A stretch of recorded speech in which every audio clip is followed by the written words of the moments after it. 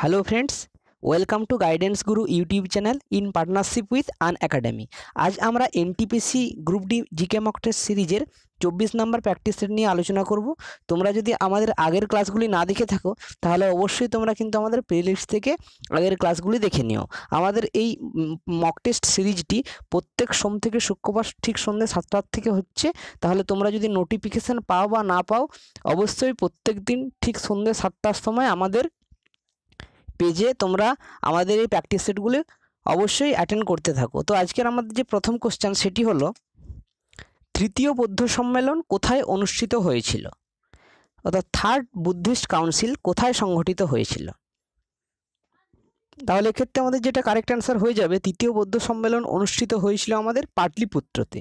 Option two is the correct answer পাটলিপুত্রতে আমাদের তৃতীয় বৌদ্ধ সম্মেলন অনুষ্ঠিত হয়েছিল দুশো পঞ্চাশ খ্রিস্টপূর্বাব্দে। দুশো পঞ্চাশ খ্রিস্টপূর্বাব্দে। আমাদের যে প্রথম বৌদ্ধ সম্মেলন হয়েছিল সেটা রাজগৃহতে হয়েছিল। সেটা হয়েছিল চারশো তিরাশি খ্রিস্টপূর্বাব্দে। দ্বিতীয় হয়েছিল বৈশালীতে তিনশো তিরাশি খ্রিস্টপূর্বাব্দে। তৃতীয় বৌদ্ধ সম্মেলন হয়েছিল পাটলিপুত্রতে দুশো পঞ্চাশ খ্রিস্টপূর্বাব্দে এবং যেটা চতুর্থ বৌদ্ধ সম্মেলন সেটা কাশ্মীরে হয়েছিল আটাত্তর খ্রিস্টাব্দে। তোমরা অবশ্যই এই চারটে বৌদ্ধ সম্মেলনের জায়গা প্লেস এবং তাদের কন্টেম্পোরারি যে ইয়ার সেগুলো কিন্তু তোমরা অবশ্যই মনে রাখবে। আমাদের পরবর্তী কোশ্চেন সারনাথ স্তম্ভ কে নির্মাণ করেছিলেন? সারনাথের যে স্তম্ভ, সেটা কে নির্মাণ করেছিলেন? তোমরা প্রত্যেকেই কিন্তু যারা যারা ভিডিওটা দেখছ, দশ সেকেন্ডের মধ্যে তোমরা কারেক্ট অ্যান্সারটা দেওয়ার চেষ্টা করবে। তো এক্ষেত্রে যেটা আমাদের কারেক্ট অ্যান্সার হয়ে যাবে, সারনাথ স্তম্ভ নির্মাণ করেছিলেন কিন্তু সম্রাট Ashoka. Option two is the correct answer সম্রাট অশোক কিন্তু সারনাথ স্তম্ভ নির্মাণ করেছিলেন। সারনাথ জায়গাটা কী জন্য বিখ্যাত ছিল? কী জন্য এর হিস্টোরিক্যাল ইম্পর্টেন্স কী? না, সারনাথেই প্রথম গৌতম বুদ্ধ তার প্রথম যে বাণী, অর্থাৎ ফার্স্ট সারনাম কিন্তু পিচ করেছিলেন সারনাথেই। এবং সেটাই কী নামে পরিচিত ছিল? সেটা ছিল ধর্মচক্র প্রবর্তন নামে পরিচিত। আমাদের পরবর্তী কোশ্চেন অশোকের শাসনকালে মৌর্য সাম্রাজ্যকে কয়টি প্রদেশে বিভক্ত করা হয়েছিল? তাহলে এক্ষেত্রে এটা কারেক্ট অ্যান্সার হয়ে যাবে। কারেক্ট অ্যান্সার হয়ে যাবে অপশান টু পাঁচটি প্রভিন্সে কিন্তু অশোকের শাসনকালে মৌর্য সাম্রাজ্যটাকে বিভক্ত করা হয়েছিল। বেসিক্যালি মৌর্য সাম্রাজ্যটা চারটি প্রভিন্সে বিভক্ত ছিল। যেটা হচ্ছে, একটা ছিল উত্তর প্রভিন্স দক্ষিণ প্রভিন্স পূর্ব প্রভিন্স এবং পশ্চিম প্রভিন্স কিন্তু সম্রাট অশোকের রাজত্বকালে একটা নতুন প্রভিন্স যেটা হচ্ছে কলিঙ্গ প্রভিন্স কলিঙ্গ প্রভিন্সের কিন্তু একটা সূচনা হয়েছিল এবং সব মিলিয়ে পাঁচটি প্রভিন্স ছিল। নেক্সট কোশ্চেন গণপতি উৎসব উদ্বোধন কে করেছিলেন? গণপতি ফেস্টিভ্যাল উদ্বোধন কে করেছিলেন? তোমরা যারা অবশ্যই অ্যান্সারগুলো দিতে পারবে, অবশ্যই তোমরা কমেন্ট বক্সে অ্যান্সারগুলো লেখার চেষ্টা করো এবং প্র্যাকটিস করে যাও। তো এক্ষেত্রে যেটা কারেক্ট অ্যান্সার হয়ে যাবে। বালগঙ্গাধর তিলক কিন্তু গণপতি উৎসবের উদ্বোধন করেছিলেন। Option two is the correct answer Balgangadhar Tilak Ganapati উৎসবের উদ্বোধন করেছিলেন। এছাড়াও তিনি গণপতি ছাড়া তিনি শিবাজি ফেস্টিভ্যালের উদ্বোধনও কিন্তু তিনিই করেছিলেন। এছাড়াও তার দুটি ইম্পর্ট্যান্ট নিউজ পেপার কী কী ছিল? ইম্পর্ট্যান্ট নিউজ পেপার ছিল কেশরী এবং মারাঠা। এগুলো তোমরা মনে রাখবে। নেক্সট কোশ্চেন ভারতের কোন রাজ্যে ম্যাঙ্গানিজ আকুরিকের সব থেকে বড় ভান্ডার পাওয়া যায়? অর্থাৎ in terms of manganese reserve manganese রিজার্ভের দিক থেকে কোন স্টেট প্রথম স্থান অধিকার করেছে? তাহলে এক্ষেত্রে আমাদের কারেক্ট অ্যান্সার হয়ে যাবে। ওড়িশা স্টেট কিন্তু ম্যাঙ্গানিজের রিজার্ভের দিক থেকে সবথেকে হাইয়েস্ট স্থান অকুপাই করেছে অর্থাৎ সবথেকে বড় ম্যাঙ্গানিজের ভান্ডার আছে আমাদের উড়িষ্যাতে কিন্তু যদি এখানে কোশ্চেনটা থাকতো ম্যাঙ্গানিজ প্রোডাকশানে অর্থাৎ ম্যাঙ্গানিজ উৎপাদনে কোন রাজ্য প্রথম, তাহলে সেক্ষেত্রে আমাদের অ্যান্সার হয়ে যেত মধ্যপ্রদেশ। তাহলে তোমরা এক্ষেত্রে সবসময় মনে রাখবে in terms of manganese production Madhya Pradesh top in terms of manganese reserve Orissa top এটা একদম অথেন্টিক অ্যান্সার তোমরা অবশ্যই এটা মনে রাখবে। নেক্সট কোশ্চেন এবং যেটা বিহারের প্রেজেন্ট চিফ মিনিস্টার হলেন নবীন পট্টনায়ক বিহারের প্রেজেন্ট গভর্নর হলেন গণেশীলাল এবং বিহারের ক্যাপিটাল হচ্ছে ভুবনেশ্বর। এগুলো তোমরা অ্যাডিশনাল ইনফরমেশনগুলো মনে রাখবে। তোমরা অবশ্যই ভিডিওটা প্রথম থেকে শেষ অবধি দেখার চেষ্টা করো, কারণ অনেক অনেক ইম্পর্ট্যান্ট এমসিকিউ আজ আমরা ডিসকাস করব। ডিজেল লোকোমোটিভ ওয়ার্ক কোথায় অবস্থিত? ডিজেল লোকোমোটিভ ওয়ার্কস কোথায় অবস্থিত? তাহলে এক্ষেত্রে আমাদের যেটা কারেক্ট অ্যান্সার হয়ে যাবে, ডিজেল লোকোমোটিভ ওয়ার্কস অবস্থিত আমাদের উত্তরপ্রদেশে। Option two is the correct answer উত্তরপ্রদেশেই diesel locomotive work অবস্থিত এবং উত্তরপ্রদেশের কোথায়? উত্তরপ্রদেশের বারাণসীতে অবস্থিত। এবং এটা এস্টাবলিশমেন্ট ইয়ার হচ্ছে নাইনটিন সিক্সটি ওয়ান উনিশশো একষট্টি খ্রিস্টাব্দে এবং এর প্রেজেন্ট জেনারেল ম্যানেজার হলেন যশপাল সিং। নেক্সট কোশ্চেন ভারতের দক্ষিণতম স্থলবিন্দু কোনটি? ভারতের দক্ষিণতম স্থলবিন্দু কোনটি? তাহলে এক্ষেত্রে যেটা আমাদের কারেক্ট অ্যান্সার হয়ে যাবে, ইম্ফল তো হবে না কান্দালাও হবে না, কুম- কুমারিকা অন্তর্পীয় হবে না কারেক্ট অ্যান্সার হয়ে যাবে Indira point option one is the correct answer Indira পয়েন্টই হলো ভারতের দক্ষিণতম স্থলবিন্দু এবং অনেক সময় কোশ্চান দিয়ে দেয়, ইন্দিরা পয়েন্ট কোথায় অবস্থিত? তাহলে এটা কিন্তু আমাদের গ্রেটার আন্দামানে অবস্থিত। গ্রেটার নিকোবরে অবস্থিত নট আন্দামান। গ্রেটার নিকোবরে কিন্তু এটা অবস্থিত, গ্রেট নিকোবরে। নিকোবরটাকে আমরা তিনটে ভাগে ভাগ করি, একটা হচ্ছে কার নিকোবর তার মাঝখানে হচ্ছে লিটিল নিকোবর এবং সব থেকে সাউথে হচ্ছে আমাদের গ্রেট নিকোবর। তাহলে ইন্দিরা পয়েন্টটা কিন্তু আমাদের গ্রেট নিকোবরে অবস্থিত। নেক্সট কোশ্চেন কোন শিল্পকে উদীয়মান শিল্প বলা হয়? এক্ষেত্রে যেটা আমাদের কারেক্ট অ্যান্সার হয়ে যাবে, পাটকে কিন্তু আমরা উদীয়মান শিল্প বলব না, কার্পাসকেও বলব না বা মোটরকেও বলব না। এক্ষেত্রে পেট্রোলিয়াম হয়ে যাবে আমাদের correct answer option four petroleum শিল্পকে কিন্তু উদীয়মান শিল্প বলা হয়। Option four is the correct answer পরবর্তী কোশ্চেন বেঙ্গল ন্যাশনাল কলেজ কবে প্রতিষ্ঠিত হয়েছিল? বেঙ্গল ন্যাশনাল কলেজ প্রতিষ্ঠিত হয়েছিল কবে? তোমরা অবশ্যই যারা অ্যান্সারগুলো দিতে পারবে, অবশ্যই তোমরা কমেন্ট বক্সে অ্যান্সারগুলো লেখার চেষ্টা করো এবং ভিডিওটা প্রথম থেকে শেষ অবধি দেখার চেষ্টা করো। তাহলে এক্ষেত্রে আমাদের কারেক্ট অ্যান্সার হয়ে যাবে, বেঙ্গল ন্যাশনাল কলেজ প্রতিষ্ঠিত হয়েছিল উনিশশো ছয় খ্রিস্টাব্দে nineteen o six option one is the correct answer এবং এর ফাউন্ডার কে ছিলেন? উনিশশো ছয় খ্রিস্টাব্দে সতীশচন্দ্র মুখার্জি বেঙ্গল ন্যাশনাল কলেজ প্রতিষ্ঠা করেছিলেন কলকাতাতে এবং এই বেঙ্গল ন্যাশনাল কলেজের প্রথম প্রিন্সিপাল ছিলেন কি? অরবিন্দ ঘোষ। এবং বেঙ্গল ন্যাশনাল কলেজটা স্বদেশী আন্দোলনের প্রাককালে কিন্তু চালু করা হয়েছিল to promote science and technology science এবং টেকনোলজি প্রমোশনের জন্য কিন্তু এটা চালু করা হয়েছিল। পরবর্তী কোশ্চেন কিষানঘাট কার সমাধিস্থল?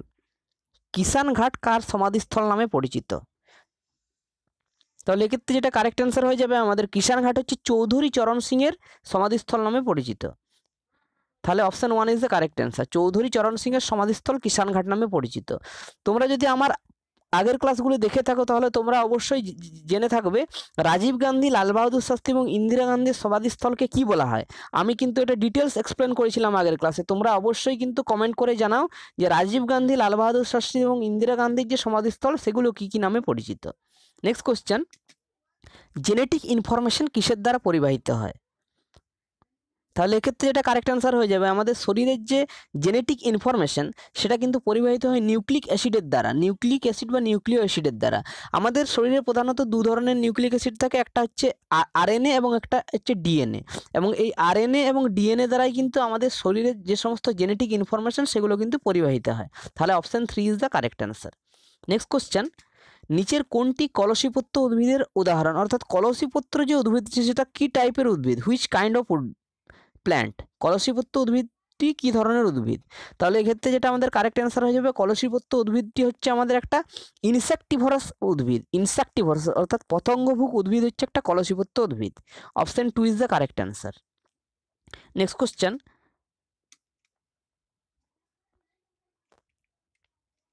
নিম্নলিখিত কোনটি প্রোটোজয়া নয়? নিম্নলিখিত কোনটি প্রোটোজয়া নয়? তোমরা অবশ্যই ক্ষেত্রে মনে রাখবে, যেটা হচ্ছে আমাদের অ্যামিবা সেটাও একটা প্রোটোজয়া, প্যারামেসিয়ামও একটা প্রোটোজয়া এবং ইউগ্লিনাও একটা হচ্ছে প্রোটোজয়া। তাহলে যেটা প্রোটোজয়া নয় সেটা হচ্ছে hydra. Hydra is not a protozoa. তাহলে আমাদের কারেক্ট অ্যান্সার হয়ে যাবে অপশান ওয়ান হাইড্রা। হাইড্রা একটি প্রোটোজয়া নয়। পরবর্তী কোশ্চেন অনুঘটকের প্রভাবে রাসায়নিক বিক্রিয়ার বেগ কী, কীরকমভাবে পরিবর্তিত হয়? সেটা বেগ বাড়ে কমে নাকি অপরিবর্তিত থাকে নাকি কোনো কোনো ক্ষেত্রে বাড়ে আবার কোনো কোনো ক্ষেত্রে কমে? তাহলে তোমরা এক্ষেত্রে সর্বদাই কিন্তু মনে রাখবে অনুঘটক হচ্ছে এমন একটা রাসায়নিক বিক্রিয়ক যেটা কিন্তু রাসায়নিক বিক্রিয়ার বেগকে বাড়াতেও পারে, আবার কমাতেও পারে। অর্থাৎ এটা কোনো কোনো সময় রাসায়নিক বিক্রিয়ার বেগকে ত্বরান্বিত করে এবং কোনো কোনো ক্ষেত্রে সেটাকে হ্রাস করে দেয়, অর্থাৎ কমিয়ে দেয়। তাহলে আমাদের এক্ষেত্রে কারেক্ট অ্যান্সার হয়ে যাবে অপশান ফোর কোনো কোনো ক্ষেত্রে বাড়ে এবং কোনো কোনো ক্ষেত্রে কিন্তু কমে যায়। Option four is the correct answer next question নিচের কোনটি ক্যাটায়ন? তোমরা অবশ্যই চারটি এলিমেন্ট দেখো এবং নিচের কোনটি ক্যাটায়ন সেটা বলার চেষ্টা করো। তার আগে আমি তোমাদের একটু বলে নিচ্ছি যে ক্যাটায়ন কাদের বলা হয়? তোমরা সবসময় মনে রাখবে ক্যাটায়ন হলো সেই সমস্ত এলিমেন্টস যেগুলো হচ্ছে ধনাত্মক আধানযুক্ত।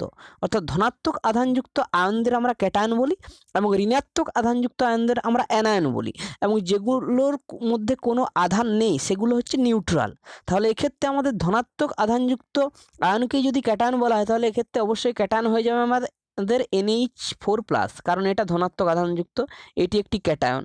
সিএইচ থ্রি মাইনাস এটি ঋণাত্মক আধানযুক্ত, তাহলে এটা হয়ে যাবে অ্যানায়ন এবং সিএল মাইনাসটা হয়ে যাবে অ্যানায়ন তাহলে এক্ষেত্রে আমাদের কারেক্ট অ্যান্সার হয়ে যাবে option three NH four plus next question কোনো বস্তুর বেগ যদি দ্বিগুণ হয়, তাহলে তার গতিশক্তি কীরকমভাবে পরিবর্তিত হবে? এই টাইপের কোশ্চেন কিন্তু খুব ইম্পর্ট্যান্ট কোশ্চেন এগুলো আমাদের প্রায় কোশ্চেন এসে থাকে। তোমরা সবসময় এক্ষেত্রে মনে রাখবে যে আমাদের যে গতিশক্তি, তার সূত্র হচ্ছে গতিশক্তি যদি আমরা ই ধরি, তাহলে E is equal to half M V square ঠিক আছে? হাফ এম ভি স্কোয়ার যেখানে ভিটা হচ্ছে বেগ। তাহলে যদি আমরা বেগটাকে দ্বিগুণ করে দিই, তাহলে গতিশক্তিটা কিন্তু আমাদের চার গুণ হয়ে যাবে, কারণ ভি স্কোয়ার মানে সেটা চার হয়ে যাবে দ্বিগুণ মানে সেটা দুই থাকলে সেটা চার হয়ে যাবে। অবশ্যই তাহলে এখানে আমাদের চার গুণ হয়ে যাবে। Option one is the correct answer চার গুণ। কোনো বস্তুর বেগ যদি দ্বিগুণ করা হয়, তাহলে তার গতিশক্তি চার গুণ হয়ে যায়। নেক্সট কোশ্চেন নিউক্লিয় বিক্রিয়ার ভর ও শক্তির সমীকরণটি কি হবে? এখানে ইটা হচ্ছে এনার্জি এবং এমটা হচ্ছে ভর এবং সিটা হচ্ছে আলোর গতিবেগ। তাহলে ক্ষেত্রে যেটা আমাদের কারেক্ট অ্যান্সার হয়ে যাবে E is equal to MC square এটাই কিন্তু আমাদের correct answer E is equal to MC square যেখানে ইটা হচ্ছে আমাদের এনার্জি এমটা হচ্ছে মাস এবং সিটা হচ্ছে ভ্যালোসিটি অফ লাইট লাইটের ভ্যালোসিটি তাহলে ভর এবং শক্তির সমীকরণ অলওয়েজ কিন্তু is equal to MC square সেটা এটাও নয় বা এটাও নয়। নেক্সট কোশ্চেন সম্প্রতি প্রয়াত রামবিলাস পাসোয়ান কোন রাজনৈতিক দলের নেতা ছিলেন? রামবিলাস পাসোয়ান সম্প্রতি প্রয়াত হলেন, তিনি কোন রাজনৈতিক দলের নেতা ছিলেন? তাহলে এক্ষেত্রে যেটা আমাদের কারেক্ট অ্যান্সার হয়ে যাবে, রামবিলাস পাসোয়ান কিন্তু লোক জনশক্তি পার্টি দলের একজন নেতা ছিলেন, লোক জনশক্তি পার্টি। এবং তিনি কোন স্টেট থেকে বিলং করতেন? হি ইজ ফ্রম বিহার তিনি বিহার থেকে বিলং করতেন। এবং তিনি যে মোদির যে মিনিস্ট্রি ছিল, মোদির যে ক্যাবিনেট মিনিস্ট্রি ছিল, তিনি কিসের মিনিস্টার ছিলেন? তিনি ছিলেন minister of consumer affairs food and public distribution system এটা তোমরা মনে রাখবে। Ministry of minister of consumer affairs and food and public distribution system next question twenty twenty French open men সিঙ্গেলসে কে জয়লাভ করলেন? দু হাজার কুড়ির যে ফ্রেঞ্চ ওপেন সম্প্রতি অনুষ্ঠিত হলো, তাতে মেন সিঙ্গেলসে কে জয়লাভ করলেন? এক্ষেত্রে আমাদের কারেক্ট অ্যান্সার হয়ে যাবে Rafael Nadal. Option two is the correct answer সম্প্রতি কিন্তু Rafael Nadal French open men সিঙ্গেলসে জয়লাভ করলেন। এই নিয়ে তিনি তেরোবার কিন্তু এই টাইটেলটা জয়লাভ করলেন। এটা হচ্ছে তার তেরোতম বার। এবং তিনি কোথার থেকে বিলং করতেন হি অলসো স্পেন থেকে বিলং করেন। স্পেন থেকে বিলং করেন এবং তিনি ফ্রেঞ্চ ওপেনটা সম্প্রতি দু হাজার কুড়ি জিতলেন। নেক্সট কোশ্চেন দু হাজার কুড়ি সালে অর্থনীতিতে কারা নোবেল পেল? অর্থাৎ কোন কোন ব্যক্তিকে দু হাজার কুড়ি সালের ইকোনমিক্সে নোবেল প্রাইজ দেওয়া হলো? তাহলে এক্ষেত্রে যেটা আমাদের কারেক্ট অ্যান্সার হয়ে যাবে, রবার্ট বি উইলসন এবং পল মিল্টন, এরা দুজনেই কিন্তু দু হাজার কুড়ি সালের অর্থনীতিতে নোবেল পুরস্কার পেলেন। তাহলে আমাদের কারেক্ট অ্যান্সার হয়ে যাবে বুথ ওয়ান অ্যান্ড টু তাহলে রবার্ট উইলসন এবং পল রবার্ট বি উইলসন এবং পল মিল্টন দুজন কিন্তু দু হাজার কুড়ি সালের অর্থনীতিতে নোবেল পুরস্কার পেলেন। এখন, রবার্ট বি উইলসন কোথার থেকে বিলং করেন? He is an American economist এবং পল মিল্টনও হচ্ছেন আমেরিকান ইকোনমিস্ট ঠিক আছে নেক্সট কোশ্চেন কোন রাজ্য সরকার mobile water testing laboratory van launch করল? সম্প্রতি কোন রাজ্য সরকার mobile water testing laboratory van launch করল? তাহলে এক্ষেত্রে আমাদের কারেক্ট অ্যান্সার হয়ে যাবে, হরিয়ানা গভর্নমেন্ট সম্প্রতি কিন্তু mobile water testing laboratory van launch করল option one is the correct answer Haryana. হরিয়ানার ক্যাপিটাল হচ্ছে আমাদের চণ্ডীগড়, হরিয়ানার প্রেজেন্ট গভর্নর হলেন সত্যদেব নারায়ণ আর্য এবং প্রেজেন্ট চিফ মিনিস্টার হলেন মনোহরলাল খট্টার। তোমরা অবশ্যই এই এডিশনাল ইনফরমেশনগুলো মনে রাখবে এবং তোমরা যদি আমাদের এই পিডিএফগুলো ফ্রিতে পেতে চাও, অবশ্যই আমাদের টেলিগ্রাম গ্রুপে জয়েন করো লিঙ্ক তোমরা ডেসক্রিপশন বক্সে পেয়ে যাবে। Next question commitment to reducing inequality অর্থাৎ সিআরআই ইন্ডেক্সে সম্প্রতি ভারতের স্থান কত? এটা হচ্ছে সম্প্রতি একটা ইন্ডেক্স রিলিজ হয়েছে কমিটমেন্ট টু রিডিউসিং ইনইকুয়ালিটি এবং এই সিআরআই ইন্ডেক্সে ভারতের স্থান কত? তাহলে এক্ষেত্রে যেটা আমাদের কারেক্ট অ্যান্সার হয়ে যাবে সিআরআই ইন্ডেক্সে ভারতের স্থান হচ্ছে ওয়ান টোয়েন্টি নাইন একশো উনত্রিশতম স্থান ভারত অকুপাই করেছে। Option three is the correct answer এবং এই ইন্ডেক্সের টপকে টপ হচ্ছে নরওয়ে এবং সব থেকে লোয়েস্ট কান্ট্রিকে সুদান, যার র্যাঙ্ক হচ্ছে একশো আঠান্ন এই র্যাঙ্কটা এক মোট একশো আঠান্নটা কান্ট্রি মিলেই কিন্তু তৈরি করা হয়েছে। নেক্সট কোশ্চেন ভারতবর্ষ কোন দেশ থেকে সব থেকে বেশি সোনা আমদানি করে? তাহলে এক্ষেত্রে যেটা আমাদের কারেক্ট অ্যান্সার হয়ে যাবে, ভারতবর্ষ যে দেশ থেকে সব থেকে বেশি সোনা আমদানি করে সেটি হলো Switzerland. Option one is the correct answer Switzerland থেকেই ভারত সব থেকে বেশি সোনা আমদানি করে। সুইজারল্যান্ডের প্রাইম মিনিস্টারকে সুইজারল্যান্ডের প্রেজেন্ট প্রাইম মিনিস্টার হলেন উকেই মোরের প্রেসিডেন্টকে প্রেসিডেন্ট হলেন সিমোনেট্টা সোমারুগা এবং কারেন্সি হচ্ছে সুইস ফ্রান্স অথবা গ্র্যাপেন, এই সমস্তগুলো এদের কারেন্সি এবং এর ক্যাপিটাল হচ্ছে বার্ন। সুইজারল্যান্ডের ক্যাপিটাল কিন্তু জেনেভা নয়। তোমরা অবশ্যই অনেকে ভুল করে দাও, জেনেভা বলে ফেলো, কিন্তু সুইজারল্যান্ডের ক্যাপিটাল হচ্ছে বার্ন।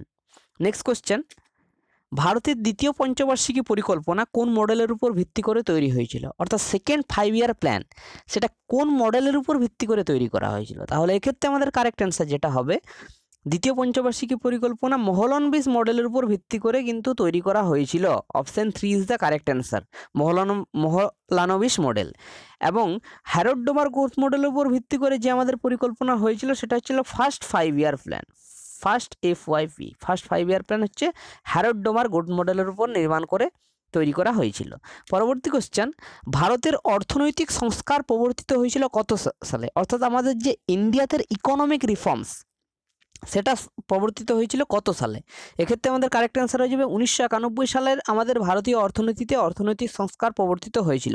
অর্থাৎ যেটা আমাদের যেটা হচ্ছে আমাদের ষোলোই জুলাই ষোলোই জুলাই নাইনটিন নাইনটি ওয়ানে যেটা আমাদের নিউ ইকোনমিক পলিসি অ্যাডপ্ট করা হয়েছিল এবং চব্বিশে জুলাই উনিশশো একানব্বই সালে আমাদের নিউ ইন্ডাস্ট্রিয়াল পলিসি অ্যাডপ্ট করা হয়েছিল।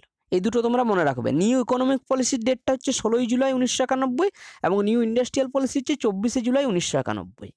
নেক্সট কোশ্চেন নিচের কোনটি এক মার্কের সাথে সম্পর্কযুক্ত? এজি এম এ আর কে এক মার্কের সাথে সম্পর্কযুক্ত নিচের কোনটি? তোমরা সবসময় মনে রাখবে, এক মার্ক বলতে কি বোঝায়? এক মার্ক বলতে বোঝায় অ্যাগ্রিকালচারাল মার্কেটিং ঠিক আছে? অ্যাগ্রিকালচারাল মার্কেটিং তাহলে সমস্ত কৃষিজাত পণ্যগুলি কিন্তু এর মধ্যে পড়ে। এর মধ্যে কিন্তু ভারতীয় রেল, শিল্প বা অন্য কিছু পড়ছে না। কৃষিজাত পণ্যই কিন্তু এক মার্কেট আন্ডারে পড়ছে। Option two is the correct answer next question ভারতে পঞ্চায়েত ব্যবস্থা প্রবর্তিত হয় কততম সংবিধান সংশোধনের মধ্য দিয়ে? One of the most important question ভারতের যে পঞ্চায়েত ব্যবস্থা প্রবর্তিত হয়েছিল, সেটা কিন্তু আমাদের তিয়াত্তরতম সংবিধান সংশোধনের মাধ্যমে হয়েছিল। Seventy third constitutional amendment act এটা হয়েছিল উনিশশো বিরানব্বই সালে। এবং এখানেই আমাদের যে কনস্টিটিউশনের এগারোতম শিডিউলটা অ্যাড করা হয়েছিল। এগারোতম শিডিউলটা এখানেই কিন্তু অ্যাড করা হয়েছিল। এবং চুয়াত্তরতম সংবিধানও কিন্তু হয়েছিল উনিশশো বিরানব্বই সালে।